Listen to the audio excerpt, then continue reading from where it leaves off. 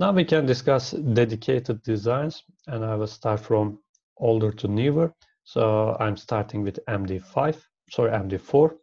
Uh, it was developed by Ronald Rivest in 1990.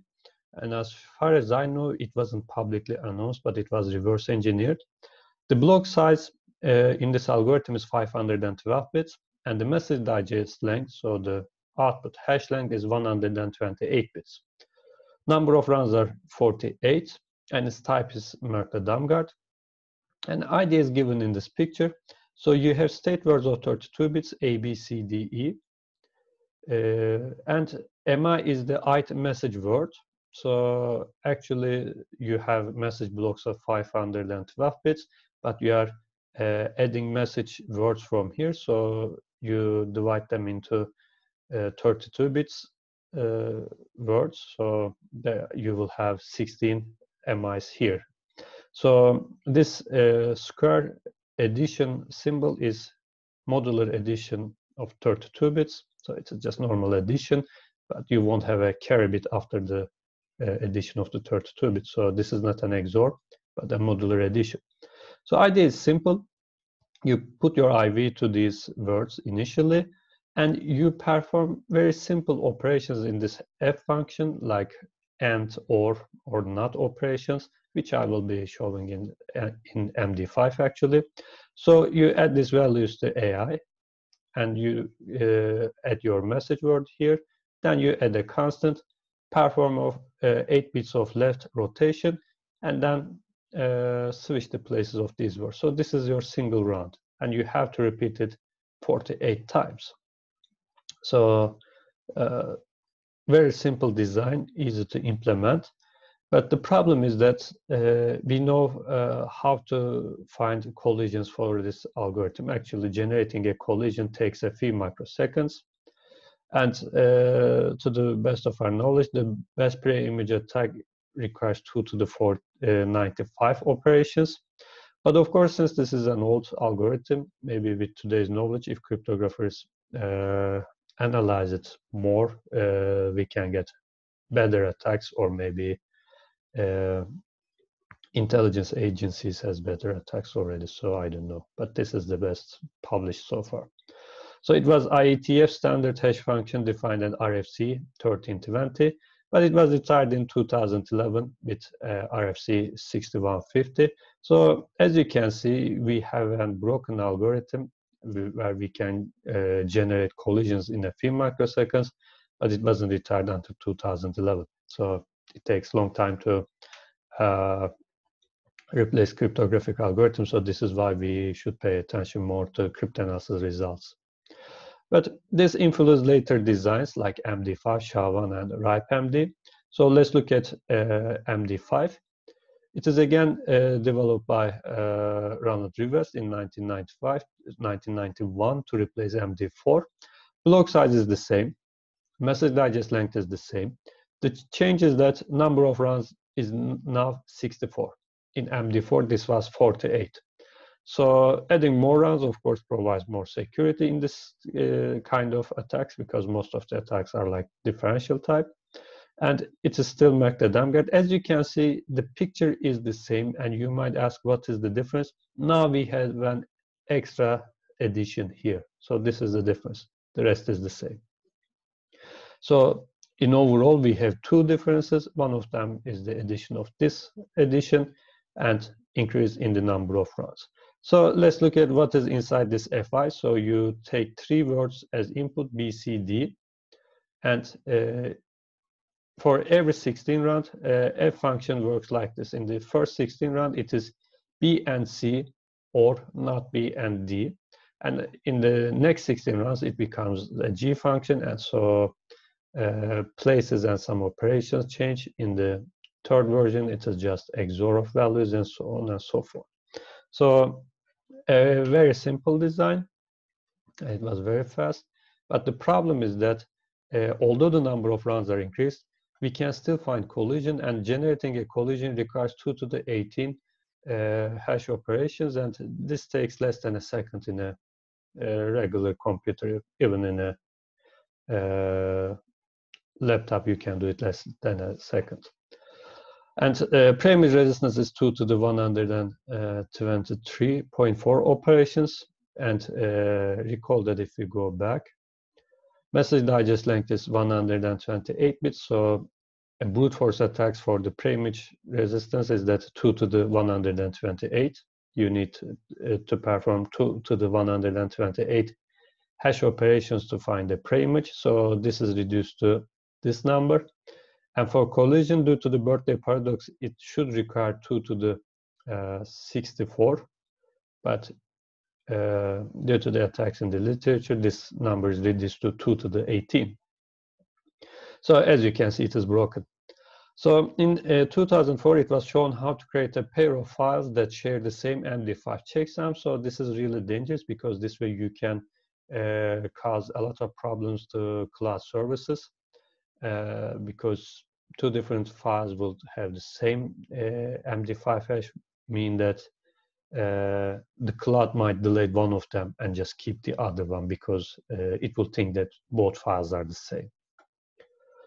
Or similarly, you can reach to a file which you don't have, but uh, if you know the hash value of it, you can try to uh, make claims like that you have that uh, file and try to download it from the cloud.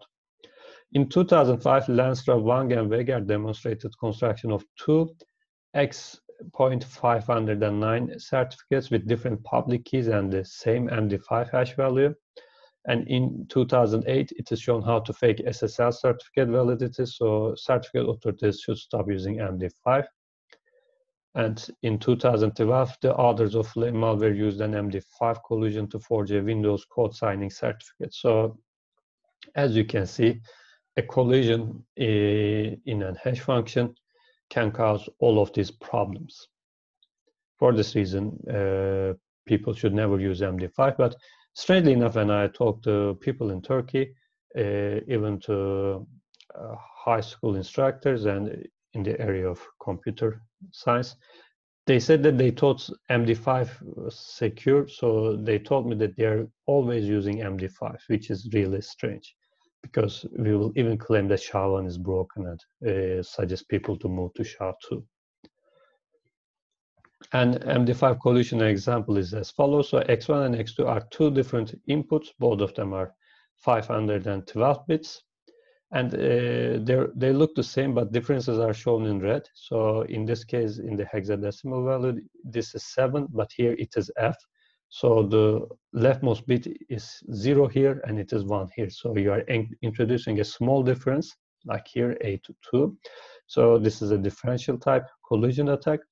Uh, you are giving small differences to these places, but if you perform the MD5 hash, you will see that both of these values, although they are different, will provide the same output hash value like this.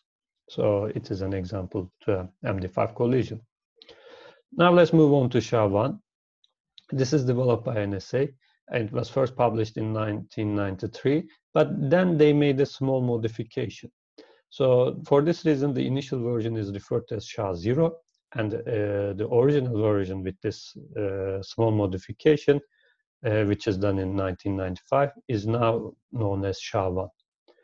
So I'm not sure, but maybe there wasn't the uh, rotation here.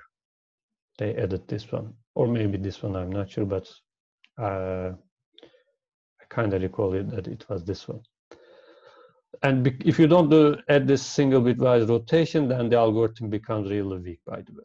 So idea is as follows. It looks, uh, again, similar to uh, MD5, but now we have a something uh, different because instead of uh, stopping at D, now we have an, another word E.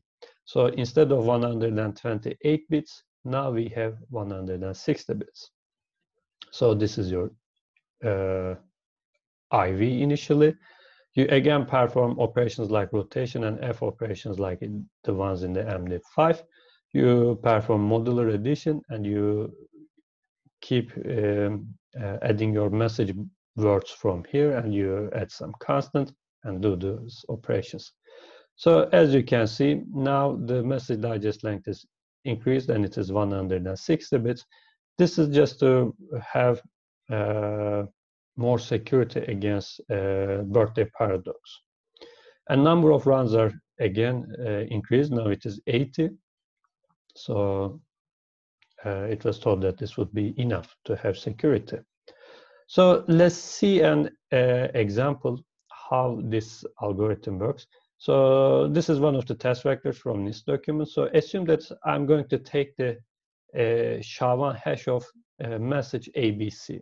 So if you just uh, create a text file and write ABC in it and perform SHA-1 operation on it, the hash uh, output will be like the one I'm going to show in three slides later.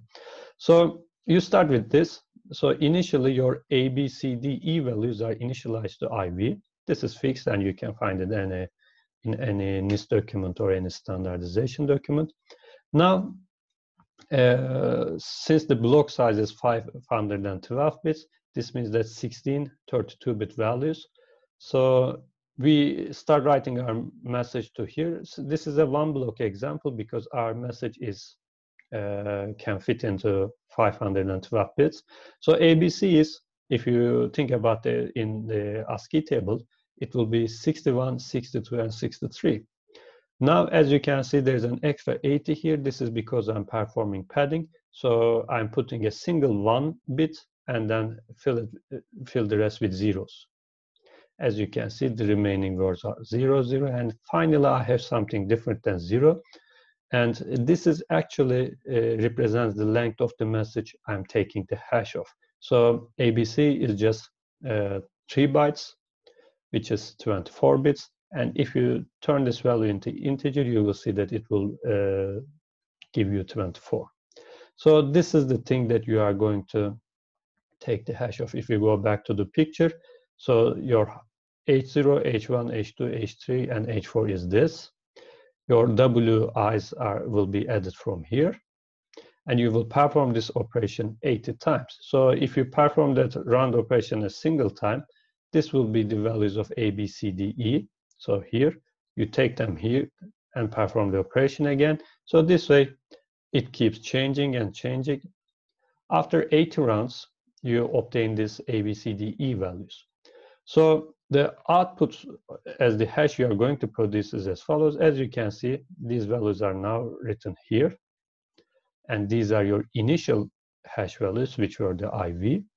So you add them together and the result is your now the hash. So uh, calculating the SHA-1 hash of ABC message is just this. And again, this is not an XOR as you can see. If you add 1 to 5, if you XOR it, it will be 4, but now it is a 6, so this is still a modular addition. So this is an example of how a Merkle-Damgard construction actually works.